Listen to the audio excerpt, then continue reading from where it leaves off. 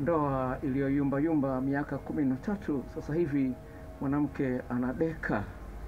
Sasa inaletea video hii fupi uh, kama shuhuda ya dada ambaye yeye anaishi Uarabuni, lakini sasa hivi yuko Tanzania, na ameweza kuzungumzia swala jinsi gani nilivyomtumia video clips na majarida akiwa yuko Uarabuni. Sasa hivi amekuja likizo hapa Tanzania na imeweza ameshuhudia jinsi gani ndoa ya miaka kumi na tatu sasa hivi, amesema ninadeka, na anaongea huku anacheka na tabasamu kubwa sana, akionyesha jinsi gani nimeweza kumsaidia kuibadilisha ndoa yake, na ameagizia video zile mpya ambazo sita ambazo nimezitengeneza ili aweze kuboresha ndoa yake, lakini aliloongezea kubwa la ambalo limeonyesha limemthibitishia zaidi au kwa ziada kwamba kweli mume wake amebadilika ni kwamba alimwacha mume wake Dar es Salaam yeye akawa amesafiri kwenda mkoa wa jirani. Kwa hiyo naficha huo mkoa wa jirani ili isije ikawa picha kamili mwanamume au mwanamke akaona kwamba ndio haki tunazungumziwa sisi. Sawa. Sasa amemwacha mume wake Dar es Salaam akaenda mkoa wa jirani kwenda kusalimia ndugu zake. Amekaa siku tatu, siku ya nne mwanaume anamwambia rudi, sitaki kutembea na mwanamke mwingine hapa Tanzania. Anamwambia rudi, anamwambia rudi. Unaweza kuona jinsi gani mwanaume ambaye alishakuwa anachepuka kwa muda mrefu, akaona kwamba kule alikokuwa anachepuka alikuwa anapoteza muda kabisa, alikuwa amepoteza pesa kabisa, na haoni sababu ya yeye kutafuta mwanamke mpya, kwa sababu katika historia yote ya miaka kumi na tatu ya usaliti hajakutana na utamu ambao amekutana kwa huyu mke wake, mke wake mwenyewe. E, katika historia nyingine tofauti na hii, miezi kama nane iliyopita mwanaume anasema kwamba natamani nikutolee mahari mpya, mahari upya, kwa sababu umekuwa mwanamke mpya. Na unasema natamani kutolee mahari upya, kwa sababu umekuwa mwanamke mpya, si yule ambaye nilimzoea miaka kumi na saba ya ndoa. Kwa haya mambo napenda nikuzungumzie, na ndakupa vionjo vichache ambavyo vitakusaidia kuelewa kwa nini nimeona umuhimu wa kutoa mada hii. Baada ya kuongea na dada huyo asubuhi, sasa hivi ni saa tisa inaelekea saa kumi za mchana, siku ya Jumamosi ya tarehe sita baada ya kuongea na huyo dada huyo nikapenda niongezee kitu kingine cha ziada. Sasa katika tafiti ya mada fupi hii, kutana mwanaume ambaye anasema kwamba nilifurahia sana kuona mwanamke ambaye nimepiga raundi ya kwanza amepizi na mimi nimepizi, lakini akasema nataka raundi ya pili, alafu akafanya vitu ambavyo vilisababisha dudu langu likawa gumu kama zege.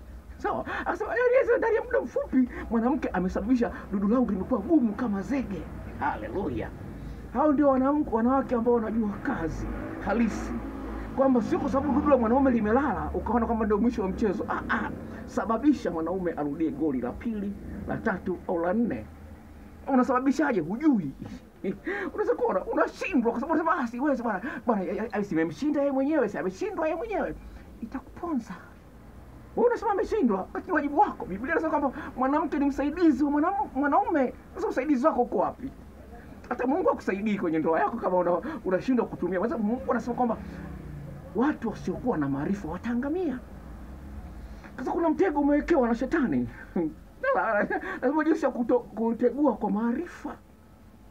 Sawa. Sasa huyu ni mtu ambaye anaona kwamba kuna kitu cha ziada, lakini sikipati.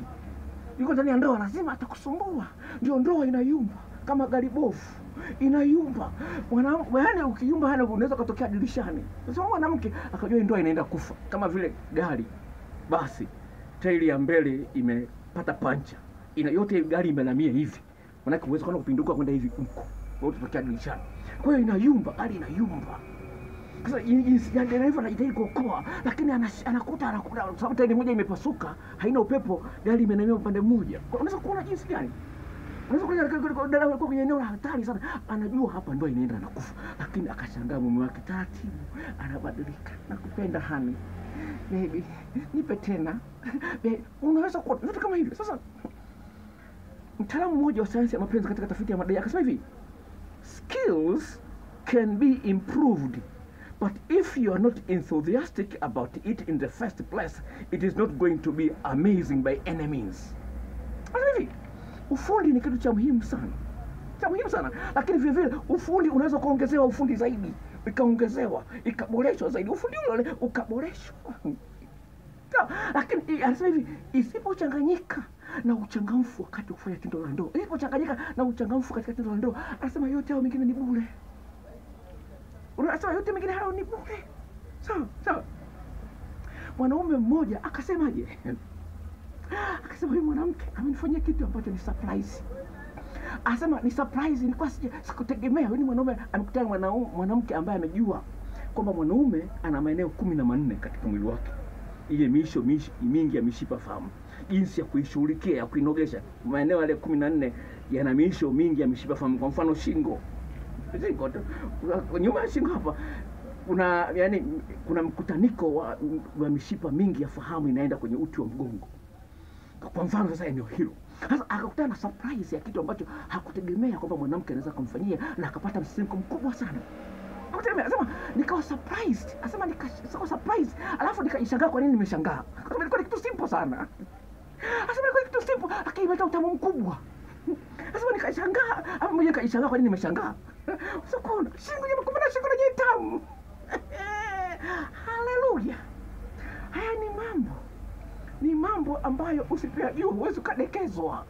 Mwanaume atakuona wewe kama ah, mwanamke, wewe ni mwanamke, mama fulani tu, ni mama, wakati yule mchepuko anaitwa mpenzi.